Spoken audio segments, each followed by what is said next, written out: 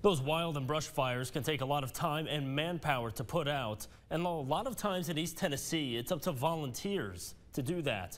Lexi Lepov reports on how much of a challenge that can be. Volunteer fire departments like Walden's Creek Volunteer Fire Department in Sevierville are crucial for Tennessee.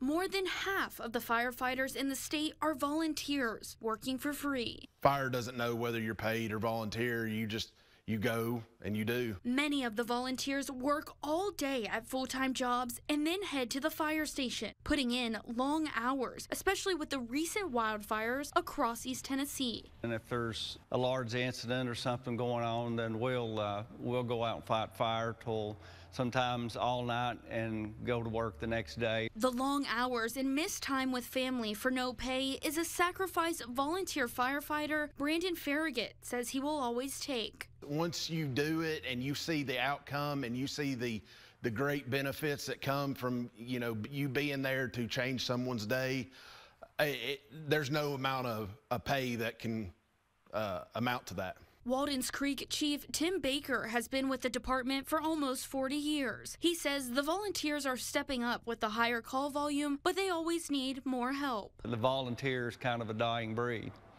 Um, people just don't volunteer uh, like they used to. People can volunteer as firefighters and also in administrative roles, which Baker says are just as important. In Sevierville, Lexi Lepov, WVLT News.